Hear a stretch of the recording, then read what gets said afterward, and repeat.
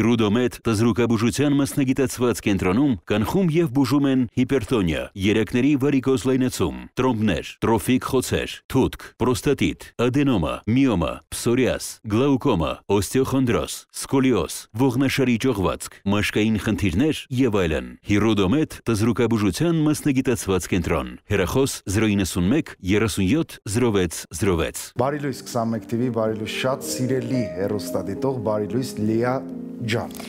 Բարի լույս Աշոտ, բարի լույս սիրելի հայրենագիցներ, շատ ուրախ ենք, որ միացրել եք 21 TV-ին։ Մենք եթերում ենք, եթերում օրդ բարի առավոտյան ծրագիրն է։ Մենք ձեզ խոստանում ենք, որ կունենանք հետաքրքիր եւ կարեւոր հաղորդում եւ նաեւ օգտակար։ Հաղորդման այս հատվածում սիրելի հերոստատիտող, մեր եթերը տրամադրում ենք բժշկական գիտությունների դոկտոր Աշոտ Աշոտյանին։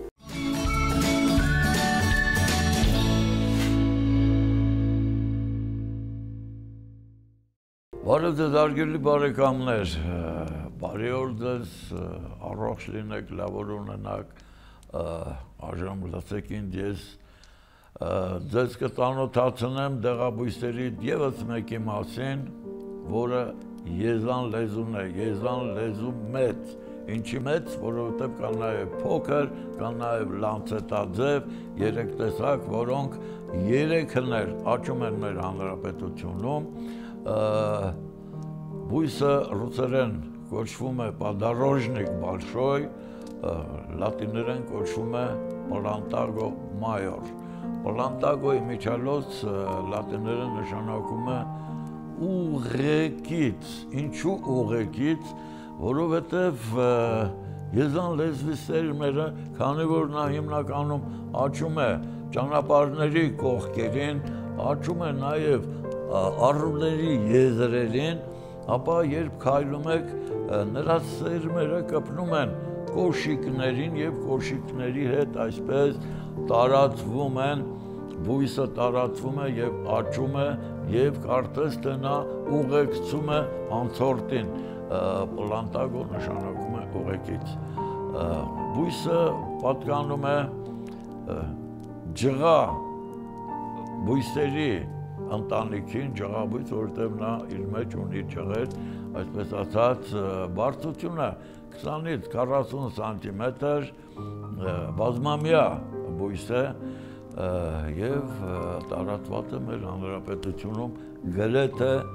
ամենուր մենք հարուստ եզան լեզվով հարգելի բարեկամներ որպես դեղաբույս եզան լեզուն հիշվում է հին աշխարհի բոլոր բժշկապետերի գրառությունների մեջ օգտագործել են բուժման նպատակով իր հզորության շնորհիվ նա նաև համարվում է այսպես մարգագետնային բանջարանոցային բուժիչ պենիցիլին, այսպես ասած, պենիցիլինի այսպես էֆեկտն է թողում ազդեցությունն է թողում իր հզորությամբ, այդպես են ասում նաև հարգելի բարեկամներ, բույսի պատրաստուկները պատրաստ օգտագործում են ամբողջ բույսը, արմատները, սերմերը, տերևները, ցողունները եւ այլը չորացնում են եւ թարմ վիճակում եւ չոր վիճակում կարող են օգտագործել, կարող են հանել նաեւ հյութը, հյութը խմել, աղում եք, պարզապես քամում եք եւ այդ կանաչուտը կարող եք օգտագործել արունահոսությունը դատարեց դատարեցնող լեղամուղ, միզամուղ, ցավազրկող, քարամուղ, ворթամուղ հատկություններ ունի, կարգավորում է դաշտանային ցիկլը, նպաստում է դաշտանի նորմալ, այսպես ասած, բոլորապտույտի կարգավորմանը, իր լեղամուղ հատկության շնորհիվ արտազատում է լեղին, օրգանիզմը պաշտպանում է լեղուկ անգերից, բուժում է ստամոքսը եւ 12 մատնյա աղիքը, գաստրիտները, հիմնականում թեժ թթվային եւ նորմալ թթվային գաստրիտների ժամանակ ստամոքսի եւ 12 մատնյա աղիքի խոցային հիվանդությունը օգտակար է նյարդային համակարգին, լավացնում է սրտի աշխատանքը իր հզոր հակաբակտերիալ այսպես ասած հատկություն հատկությունների շնորհիվ նա կարողանում է ազդել հեմոլիտիկ, ստրեպտոկոկի, ստաֆիլոկոկի, աղեքային ցուպիկի, կատվա կապտա թթվային ցուպիկի եւ մնացած նախակենթանիների վրա կարողանում է ոչնչացնել հետեւաբար նրա պատրաստուկներով բուժում են նաև մաշկային հիվանդությունները, մաշկի թարախակալումը, տարբեր տեսակի բնույթի, այսպես ասած, պզուկները, ցաները եւ այլը դնում են թռչոցներ, Բոլորդ գիտեք մատնաշունչի ժամանակ եզան լեզուն այսպես կապում են եւ նա հատունացնում է, բացում է թարախային հոսքը առաջացնում եւ բուժվում է մաշկի տարբեր տեսակի ֆորունկուլներ, կարբոնկուլներ եւ այլ այդ թարախային գոյացությունների վրա եզան լեզվի տերևը դնելով կապելով ստացվում է շատ լավ հրաշալի արդյունք կարելի ասել եզան լեզուն դա հզոր հակա բակտերիալ ազդեցություն ունի նրա պատրաստուկներով բուժում են նաև բերանի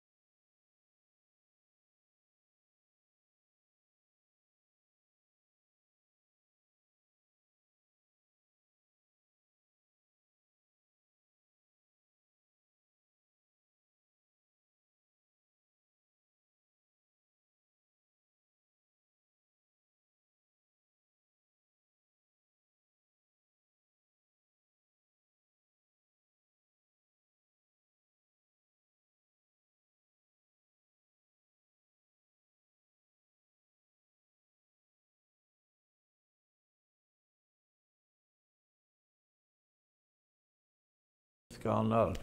դառնակ այսպես ասած առանց դեր գեղեցիկ եք դառնակ հրաշքներ այս փոքրիկ բրյոշուրը ինչ է գրած միշտ քեզ հետ սա պետք է միշտ ինչու միշտ քեզ հետ որովհետև առօրյա բոլոր գանգատները գրված են այս փոքրիկ գրքուկում սրտ խառնոց է, փսխում է, լուծ է, փորկապությունը, գլխացավը եւ այլ եւ այլը բոլորի պատասխանները այստեղ կան այդպիսի թեթե բաները բաների համար պետք չի ծանրաբեռնել, այրանտատել, այդ էլ ծանրաբեռնված պոլիկլինիկաներին դուք ինքներդ կարող եք օգտվել այս գրքից պատրաստել եւ վերականգնել ձեր առողջությունը բուժման համար եթե կարիք ունեք կարող եք դիմել ինձ Պուշկին 38 եւ զանգահարել իմ հեռախոսահամարով ցտեսություն միշնոր հանդիպում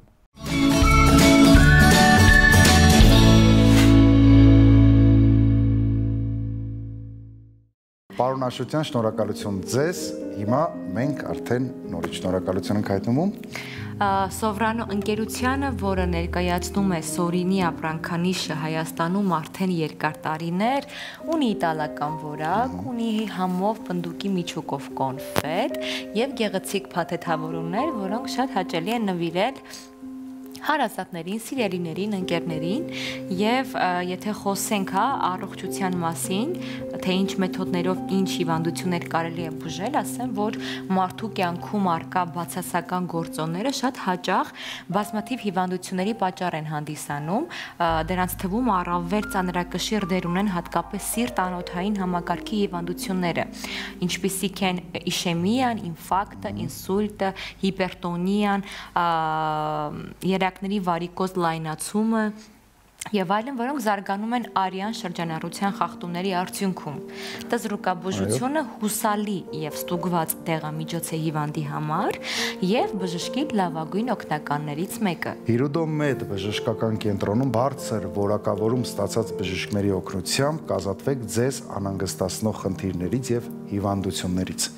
Կենտրոն կարելի է այցելել նաև կանխարգելիչ նկատառումներով տարեկան 1-2 անգամ սիրտ անոթային համակարգի հիվանդություններից զերծ մնալու համար։ Բարի լույս նրանց, ովքեր նոր են միացել մեզ, եթերում ենք ենք ես եւ Աշոտը, ովքեր վարում են օրդվարի առավոտյան ծրագիրը։ Բարձր դրամատրությամբ ենք վարում օրդվարի առավոտյան ծրագիրը։ Հիմա որ նայեն քո դեմքին ու իմ դեմքին կհասկանան, որ իմն էր բարձր դրամատրություն։ Իմը նորմալ է, սև։ Լավ, սև նորմալ դրամատրություն ջան, կարող ես ներկայացնել մեր այսօրվա հյուրերին։ Ժպիտ ջան, ներկայացնեմ։ Դաշնակահարոյի Մարի Տեր Անտոնյան, բարի լույս։ Բարի լույս թարգմանիչ Անահիտ Կոստանդյան։ Բարի լույս։ Բարի լույս։ Հասկանանք, ինչպես եղավ, որ դաշնակահարուհին եւ թարգմանչուհին համատեղ ներկայացան մեր առավոտյան տաղավար, ինչն է ձեզ կապում։ Ուշադրուշ պատասխան, զանգել է, եկանք էլի։ Երկուսից ասիկ երկուս տեկա։ Դա զանգելը մի կողմ, բայց եթե իրականում խոսենք, ինձ եւ Անահիտին կապում է շատ կարևոր մեկ ընդհանուր թեմա կենթանիները եւ հիմնականում մեր պարագայում թափառող կենթանիները։ Իսկ նախքան այս թեման ձեզ կապող արյունակցական կապ, գործնական կապ։ Տարիքային դե մի քիչ տարբերություն կա, բայց ընկերուհիներ։ Շատ մեծ տարիքային տարբերություն կա, ես իրան մամա կարող եմ Շատ մեծ տարբերություն կա, ահա որ մեծ է իրականում ուղղակի չի երևում։ Հա, ուղղակի չի երևում։ Շատ կոմպլիմենտի համար չէ, բայց ընկերուհիներ եք։ Այո, իհարկե։ Էդ էդ է ուզում ասել էլի, թե չէ տարիքի այս դեպքում կապ չունի։ 80 տարեկան երիտասարդներ էլ կան, 18 տարեկան պատիկներ էլ կան։ Համաձայն եմ։ Ուրիշ բան է։ 26 տարեկան է։ Մարջան պաստոն քեզնից փոք։ Ոյ, Լավ։ Ասեմ։ ոյ։ Հա, ձեզ կապում է կենթանին թափառող Թափառող կենթանիների հիմնահարցը։ Ահա։ Եւ առհասարակ, հա, շրջակա միջավայր, կենթանիներ, հա, որոնց որ Թափառող կենթանիներ միայն մայրաքաղաքում թե Ոչ, Հայաստանի Հանրապետությունում։ աշխարհում։ Հայաստանից սկսած, բայց երբ մենք լուծենք այս հարցը Մարի ջան Հայաստանում, այդպես մտածենք, մենք լուծելու ենք ամբողջ զբաղվում եք այդ հարցով գործունեությունը ծավալվում է Երևանի սահմաններում թե դուրս նաև։ հիմնականում Երևանի, բայց ընդհանուր հիմնահարցը ամբողջ Հայաստանի Հանրապետությունն Այո։ է։ Եվ ես ձեզ ասեմ, որ Երևան մայրաքաղաքից դուրս շատ ավելի տխրահարճակ պատկեր է։ Երևանում դեռևս ամեն ինչ այդքան էլ սարսափելի չէ։ Լավ, նախքան անդրադառնալը թե ինչ իրավիճակ է թափառող կենթանիների մոտ եւ ինչով եք դուք զբաղվում հիմնականում, ինձ հետաքրքիր է թե երբ այդ միտքը ցակել ձեզ մոտ, ում մոտ է առաջինը ցակել, ինչ առաջ, առաջին քայլերը, որոնք որ արել եք, որոնք են եղել, ինչպես եք ծանոթացել եւ հիմա ինչ փուլում է գտնվում ձեր գործունեությունը։ Նախ ուզում եմ սկսել նրանից, որ առհասարակ ինձ մոտ սերը կենթանիների եւ առհասարակ շրջակա միջավայրի հանդեպ դեռ փոքր ժամանակից ի վեր է սկսել, որովհետև իմ ծնողները, իմ տատիկն ու պապիկը իմ դաստիարակության մեջ ներառել են, հա, այդ կրթվածությունը, որտեղ դա էլ է կրթվածություն պահանջում։ Մարդ պետքա կրթվի այդ առումով, պետքա ստանա դաստիարակություն, որպեսզի հասկանա թե ինչ գնահատական պետքա տա այն միջավայրին, որում ինքը ապրում է եւ ինչ վերաբերմունք պետքա ցուցաբերի այդ միջավայրի հանդեպ եւ ես փոքր ժամանակից ի վեր, այո, այդ սերը իմ մեջ սերմանվել է եւ կա մինչ այսօր եւ կարծում եմ երբևէ այդ սերը չի վերանա։ Ինչ վերաբերվում է իմ գործունեությանը, շատ ավելի կոնկրետ, հա, որ բլոգ եմ սկսել վարել իմ Facebook-յան անձնական էջով, երևի վերջի տարին է, մի տարին է, որ կոնկրետ տեսանյութեր եմ սկսել նկարել իրազեկող, որովհետև բոլորիս համար բարձ է դառնում, որ Հայաստանում ունենալով առհասարակ, հա, օրենք, որը որ քրեականացնում է կենթանու հանդեպ դաժան վերաբերմունքը ցավոք սրտի առ այսօր այդ օրենքը որևէ կերպ չի փոփոխության չի ենթարկել հասարակության վերաբերմունքը կենթանիների հանդեպ այսինքն ոնց եղել են այդ դաժանությունները կենթանու հանդեպ իրենք նույն կերպով շարունակվում են եւ ցավոք սրտի օրենքը իր ոնց որ ասում են արդյունքները չի բերում խիստ չեն եղել օրենքը պարզապես չի գործում, բայց այդ ամեն ինչը ունի, այո, օրենքը կա Այո կա։ Ինչա գրված այդ օրենքում։ Ըստ նոր քրեական օրենսգրքի, հա, որը որ հաստատվեց հուլիսի 1-ին 307-րդ հոդվածով կենթանու հանդեպ դաժան վերաբերմունքը քրեորեն պատժելի առարկա։ Կենթանու հանդեպ դաժան վերաբերմունք համարվում է կենթանու խփելը, կյանքից սրկելը, այրելը, շնամարտերը, եւ այնտեղ այլ նաեւ հա կետեր կան, որոնք որ այդ օրենքում ներկայացված են։ Չի կարելի առանձնացնել մարդու հանդեպ եւ կենթանու հանդեպ։ Այսինքն ոչ թե սկզբում պետքա այ մարդու հանդեպ այդ հարցերը լուծվեն, հետո մենք անցում կատարենք կենթանու հանդեպ։ Եթե դուք ձեր հայացքը նետեք աշխարի տարբեր հա զարգացած երկրներին, խոսքս հիմնականում եվրոպական երկրների մասին է, մարդու իրավունքներ եւ կենթանու իրավունքներ իրենք զարգացել են եւ եղել են զուգահեռ։ Դրա մասին խոսում է եվրոպական կոնվենցիան, որը որ հաստատվել է։ Դրա մասին ոչ միայն կոնվենցիան, դրա մասին խոսում է Homo sapiens գիրքը նաեւ Yuval Noah Harari։ Այո, այո եւ ես հիմնվում եմ կոնվենցիայի վրա, որովհետեւ հենց այդ կոնվենցիայից են բխել, հա, այն օրենքները եւ այն օրինակարգերը, որոնք որ հիմնականում հաստատվել են եւ ընդունվել են։ Եվ եթե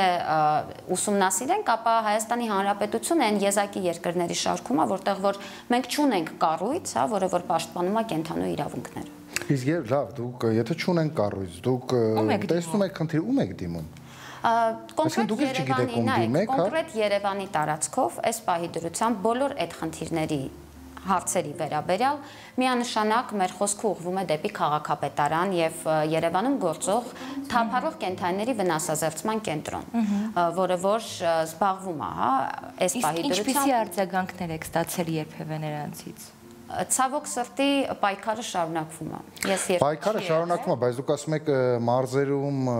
եւ Երևանում պատկերը այլ է, այսինքն Երևանում ինչ որ չափով ինչ որ հարցերի լուծումներ տրվել է։ Չէ՞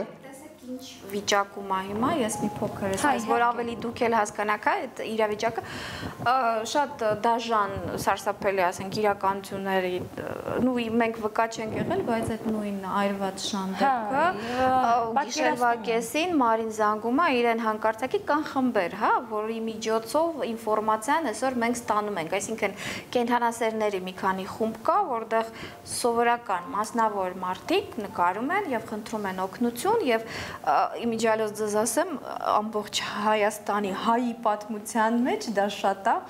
եթե նայեք ուսումնասիրեք, որ միշտ անհատական է սկսվում այդ ինչ որ զարգացումը, հա, ինչ որ հետո պետական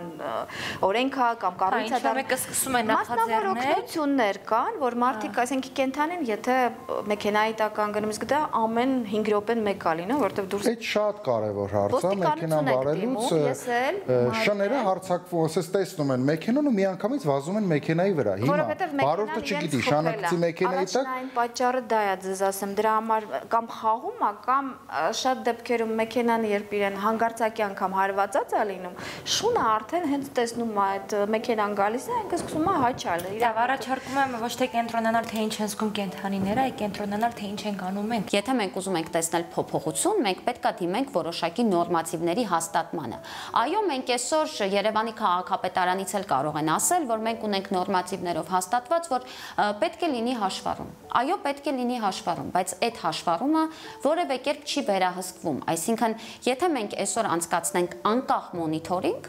կստացվի, որ Հայաստանի Հանրապետությունում հա 90%-ից ավելին այնտեղ մի փոքր տոկոսը միայն 90%-ից ավելին չի հաշվառում իր կենթանիներին։ Այսինքն այդ կենթանիները հասցեագրում չունեն։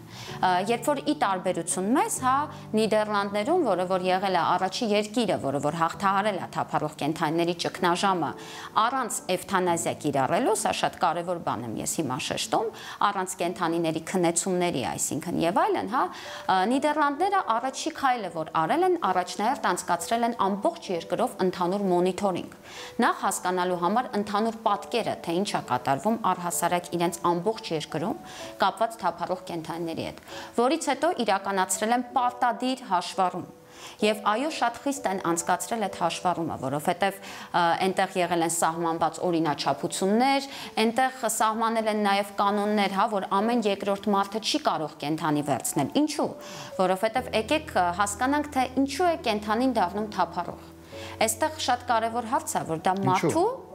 գործ ներգործության արդյունքումն է որովհետև կենթանին թափառող է դառնում, երբ որ մարդը իրեն լքում է։ Դրանք լքված կենթանիներ են հիմնականում։ Այսինքն մարդը կենթանուն լքեց, կենթանին դարձավ թափառող, հանդիպեց մեկ այլ կենթանու, տեղ ունեցավ անկանոն զույգավորում, եւ դա շղթայական process է, որը որ ամենևին կանգնեցնել այդքան էլ հեշտ չի։ Այսինքն, եթե ճիշտ ճանապարհով չես գնում, այդ process-ը դու չես կարող կանգնեցնել։ Նույն օրինակը, հա, այսօր դու այստեղ 5 շուն կկրակես, վաղը այդ նույն տեղը 10 շուն է գալու։ Եվ այդպես դու երբևիցե չես կարող թվականակը, հա, կենթանիների նվազեցնել կամ այդ process-ը կանգնեցնել։ Ինչպես նաև, հա, եթե մենք այսօր պետքա ուշադրություն դարձնենք, երբ որ ես ասում եմ միջազգային օրինակներ, խոսքը գնում է նաև միջազգային մասշտաբներով, հա, առհասարակ տվյալ երկրների ղեկավար անձնակազմի կառավարության կողմից տարվող ռոպագանդաների մասին, այսինքն ինչ է սովորաբար կառավարությունը փորձում հասցնել հասարակությանը այդ թեմայի առումով։ Օրինակ Իտալիայում դպրոցներում պարտադիր կա դասաժամ, որի ժամանակ կինոլոգները մասնագիտությամբ աշխատում են երեխաների հետ եւ կրթում են երեխաներին սովորեցնելով թե ինչպես երեխան պետք է վերաբերվի կենթանուն, ինչպես շփվի ինչպես ինչպես պետք է շփվի, ինչպիսի մոտեցում պիտի ցուցաբերելի, ինչ կարելի է անել ինչ իրավունքներ ունեն կենթաները, ինչ իրավունքներ ունենք մենք, ֆիլմեր են շատ նկարում։ Այո, եւ դա պարտադիր է հասկանում եք, այսինքն դա ոչ թե ուղակի սիրողական ծրագիր է, որ մարդիկ գնում դպրոցներով անցնում են, դա տվյալ երկրների կրթ գիտության նախարարությունների կողմից հաստատված ծրագրեր է եւ դա արվում է ինչի որովհետեւ շատ կարեւոր է որ երեխան փոքր ժամանակվանից այդ կրթությունը ստանա կենթանին դա նաեւ շրջակա միջավայրն է ինչպես դու վերաբերվում ես կենթանուն այնպես դու կվերաբերվես քո շրջակա միջավայրին ինչքան պատասխանատու ես դու քո կենթանու հանդեպ, այդքան դու պատասխանատու ես մնացած հարցերում, դա այդպես է։ Եթե այսօր մենք կարողանայինք դա հասարակությանը հասցնել, որովհետև դա շատ կարևոր բան է, որպեսզի հասարակությունը գիտակցաբար մոտենա այդ հարցերին եւ հասկանա, հա, նույն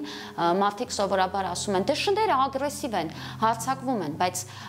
ով գիտի պատասխանը, ինչպես են այդ շները ագրեսիվ կամ ինչից է դա առաջանում։ ես այդ հարցը ուզում եմ տալ, ինչից են շներն ագրեսիվ։ Նայեք, առհասարակ մարդիկ ագրեսիվ դառնում։ Դա շատ բարդ հարց է, այդ մարդուն պիտի հարցնես, շանը որ հարցում ես Իսկ թվում է ագրեսիայի պատճառները միշտ նույնն են լինում, կապ չունի։ Նայեք, ինքը ագրեսիան ինքը հենց այնպես չի առաջանում։ Կա 3 շատ կարևոր կոմպոնենտ՝ սթրես, վախ եւ այդ երկու կոմպոնենտից բխող ագրեսիա։ Ինչպես դա կարելի է կարելի է զուգահեռ տանել զգացումների առումով մարդու հետ, հա նույն սթրես, երբ որ մարդը տանում է սթրես, գտնվում է վիճակում, երբ որ ինքը վախենում է իր գոյության համար, մարդու գործողությունները, ինչ է անում մարդը այդ դեպքում։ Եկեք ինքներս մեզ բոլորս, հա նույն հերոստատիտողները թող իրենց հարցնեն, ինչ կանի մարդը, երբ որ ինքը գիտի, որ իր գոյությանը վտանգ է սպառնում։ Բնականաբար մարդը երբեք չի նստելու եւ չի սпасելու երբեն իրեն ոչնչացնելու կամ վնասելու։ Մարդը անցնելու է պատասխան գործողությունների, այսինքն անելու ամեն ինչ իր գոյությունը պահպանելու համար։ Գոյության պայքարի կռիվը շատ հավերժ է, իհարկե,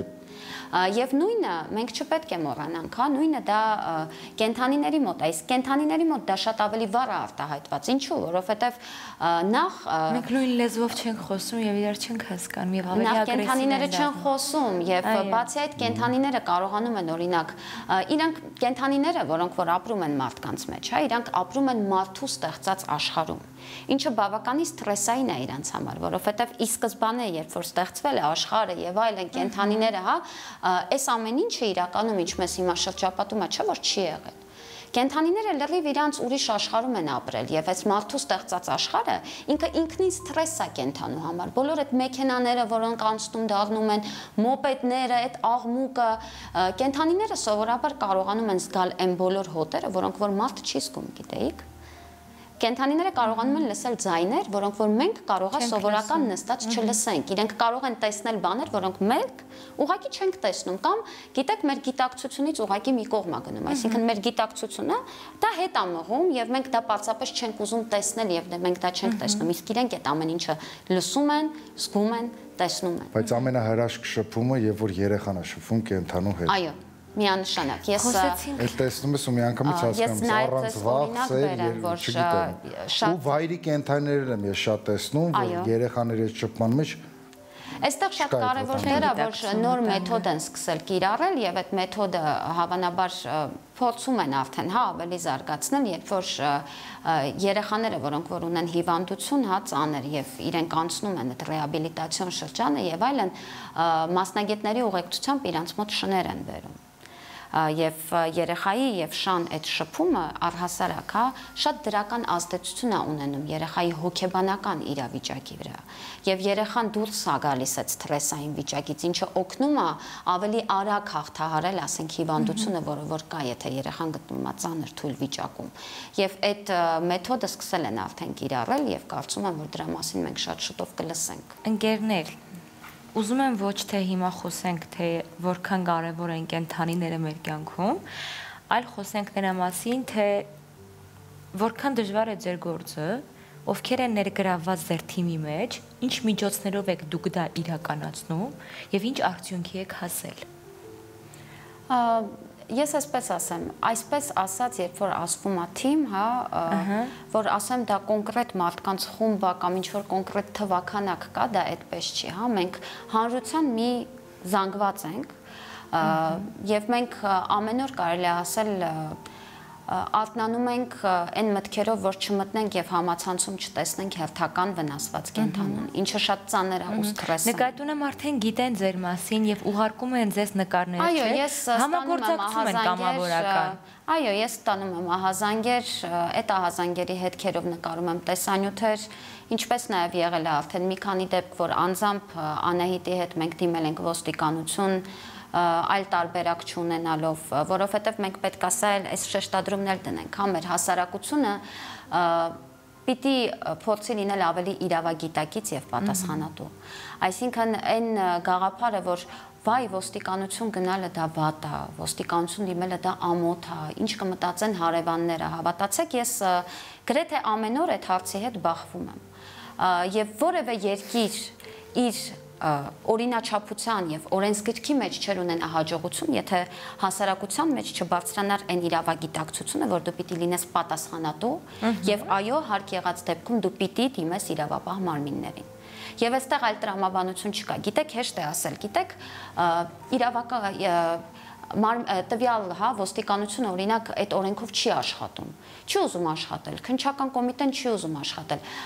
Իրենք երբևէ չեն աշխատի, եթե չկա պահանջարկ, հա, դա գիտեք նմանա շուկայի, երբ որ շուկայում մի բանի պահանջարկ կա, այդ մի բանը անընդհատ բերում են։ Դա սովորական մարքեթինգ է։ Իսկ սովորական մարքեթինգ է, բայց այդպես չպիտի լինի, դա սխալ է։ Այո, ցավոք սրտի այդպես չպիտի լինի, բայց եթե մենք ուզում ենք այսօր, որպիսի լինեն փոփոխություններ եւ լինեն լրացուցիչ նորմատիվներ, որոնք որ կբերեն նրան, որ այդ օրենքը կաշխատի եւ ուրիշ տրամաբանություն այդտեղ չի լինի, մենք պետք է պահանջենք, որ դա լինի։ Իսկ պահանջել նշանակում է պայքարել։ Ձեր գործունեության ընթացքում ինչ հաջողություններ եք գրանցել, թեկուզ փոքրիկ։ Խոսենք հաջողություններից։ Ես մի քիչ պետք է տխուր թեմա է բոլորիս համար, բայց այդ սկսեմ նրանից, որ իմ հաջողությունս նրանումն է, որ ես հիմա 4 հատ շուն ունեմ։ Հա։ Հավաքած։ Մարինել որտե գրված շուն ունի եւ դա դարպասից էս կողմա 4 հատ շուն, իսկ այն կողմ ավելի շատ են, բայց ցավոք, այսինքն ամեն մարդ, նու չեմ կարող, Չէ կարող 20-30 այո, ցավոք հասկանալի։ Լավ, իսկ երբևէ, հա, ինչպես են կոչվում այն մասնագետները, ովքեր զբաղվում են Անասնաբուժները։ Հա, անասնաբուժներ։ Իհարկե, կլինիկաներում Հա, նկատի ունեմ նրանց կողմից աջակցություն կա, երբ որ դիմում եք եւ Ոչ, Հայաստանում դրա համար էլ ենք շատ ուզում բարձրաձայն վճարում եք դուք միանշանակ այո դուք ձեր գրբանից վճարում այո չկա պետական կլինիկա չկա ըստ սահմանված կանոնակարգի եւ սահմանված կանոնադրության մենք ունենք կենտրոն որը որ պետք է զբաղվեր թափառող կենթանիների հա բուժօգնության հարցով եւ դա սահմանված է տվյալ կենտրոնի կանոնադրության մեջ ցավոք սրտի այդ կետերը դեռևս չեն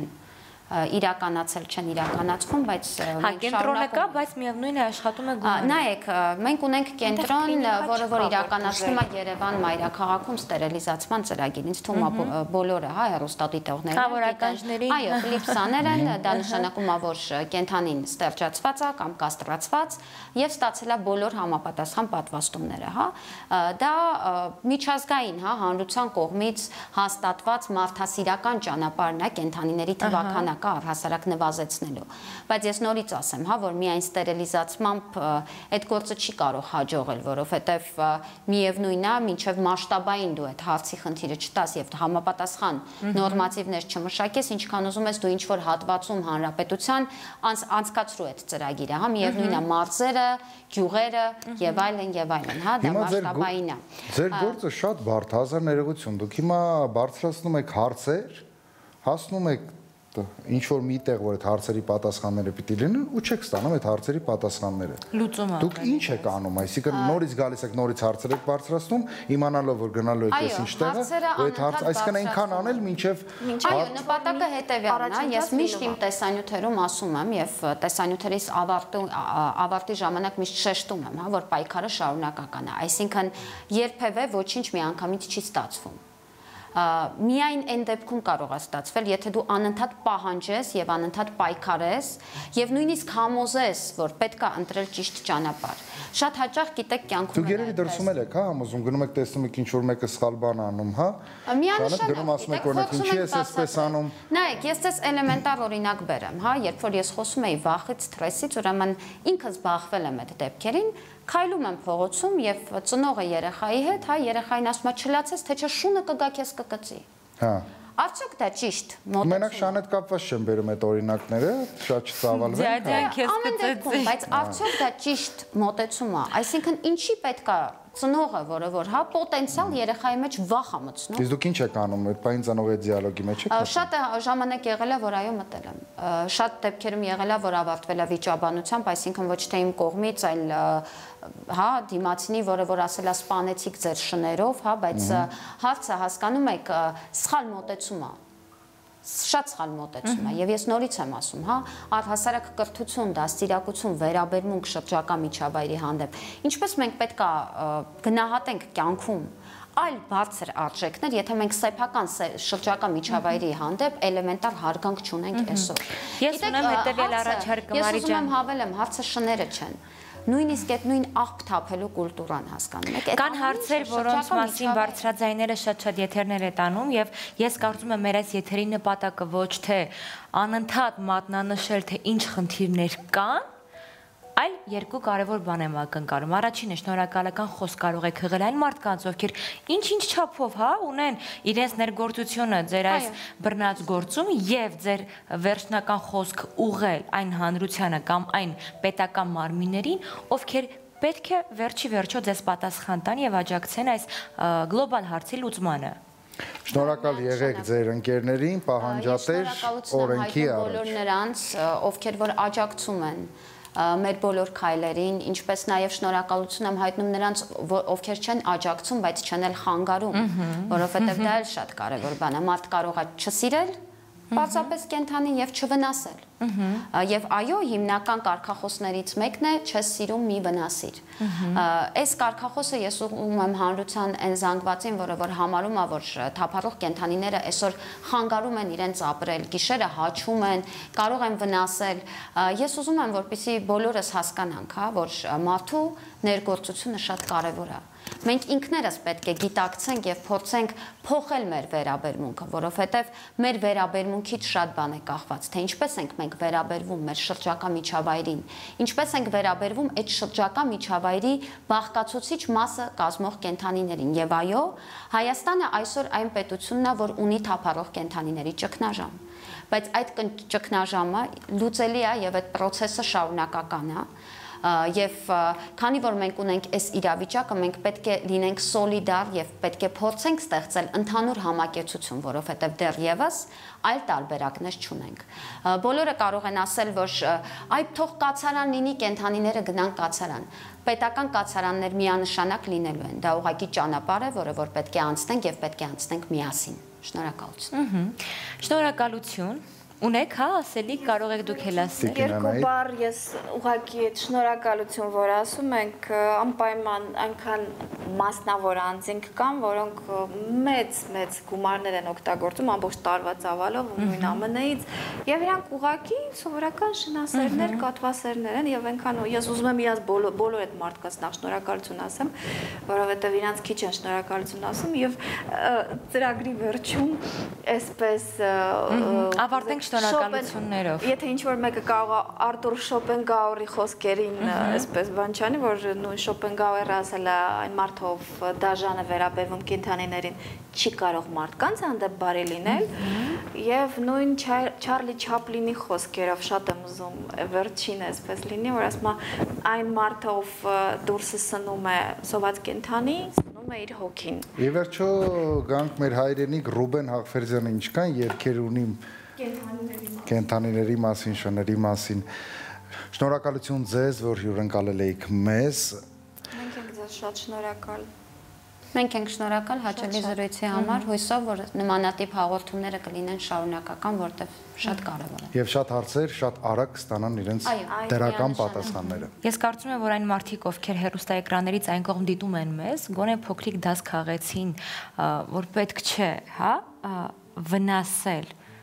մի արարածի, որը եւս կոչվում է կենթանի, որը եւս շնչում է, ունի ձեռքվոտք եւ արժանի է եւ ունի իրավունք երկիր մոլորակի վրա ապրելու եւ գործունեություն ծավալելու եւ երկրորդ ես հույս ունեմ կհայտնվեր մարդիկ, ովքեր իրենց աջակցությունը կցանկանան ցուցաբերել ձեզ, կդիմեն ձեզ, կգրեն, կզանգեն, կփորձեն օգտակար լինել, թե ֆինանսապես, թե ուղղակի որպես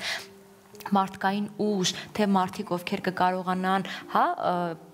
կապ հաստատել համապատասխան մարմինների հետ, կազմակերպությունների հետ, ովքեր վերջապես կարծագանքեն ձեր նամակներին, ձեր զանգերին եւ լուծում կտան այս կարևոր հարցին, որովհետեւ ժողովուրդ ջան, որ ասում ենք սեր, սիրենք միմիից, մենք նկատի ունենք ոչ միայն ձեր կողակցին սիրելու, սիրել, այո, ձեր շրջապատը, բնությունը, կենթանիներին, այն ամենը, ինչը որ ձեր շրջապատում է այս կյանքում, ինչի մեջ որ դուք ապրում եք, ուղակի սիրեք, գնահատեք եւ փոքր ինչ մարդասիրական վերաբերմունք ցուցաբերեք։ Շնորհակալություն ձեզ, որ այս հարցի մասին բարձրաձայնում եք այսօր եւ զբաղվում եք նման բարեգործությամբ, բարեգործությունը, որովհետեւ ձեր ցանկությունն է, ձեր նախաձեռնությունն է, ձեր միջոցներն են, ձեր ռեսուրսներն են եւ ձեր պայքարն է։ Ողջունում եմ։ Շնորհակալություն նաեւ ձեզ, որ այս ամենը լսեցիք, վստահ եմ, որ գլխով եք անում, ճպտում եք եւ ասում եք, այո, այլևս չենք անի, եթե արել ենք ներողություն։ Շնորհակալություն նաև մեր հաղորդման հովանավոր Սովրանո ընկերությանը, որը ներկայացնում է Սորինի ապրանքանիշը Հայաստանում արդեն երկար տարիներ, ունի իտալական որակ եւ համեղ կոնֆետ պնդուկի միջուկով եւ գեղեցիկ փաթեթավորումներ, որոնք հաճելի են նվիրել հարազատներին, սիրելիներին կամ պարզապես ինձ։ Ինչպես միշտ ներկայացնում է շատ լավ ու շատ քաղցր։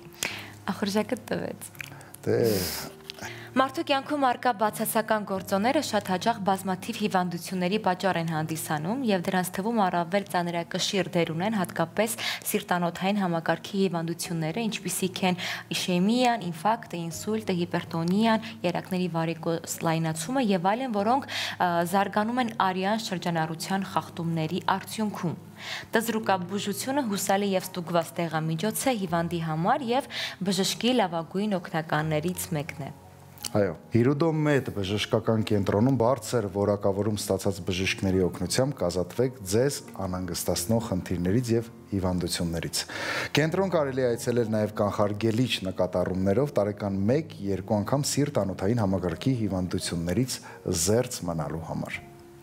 Դե ինչ եղեք բարի, եղեք կամեցող, շփտացեք, սիրեք միմյանց եւ բոլորիդ լավ օրվա շարունակություն կհանդիպենք։ Մնացեք խաղաղությամբ։ Հիրուդոմետ տզրուկաբուժության մասնագիտացված կենտրոնում կանխում եւ բուժում են հիպերտոնիա, երակների վարիկոզ լայնացում, տրոմբներ, տրոֆիկ խոցեր, թութք, պրոստատիտ, ադենոմա, միոմա, պսորիաս, գլաուկոմա, օստեոխոնդրոզ, սկոլիոզ, ողնաշարի ճողվածք, մաշկային խնդիրներ եւ այլն։ Հիրուդոմետ տզրուկաբուժության մասնագիտացված կենտրոն։ Հեռախոս 091 37 06 06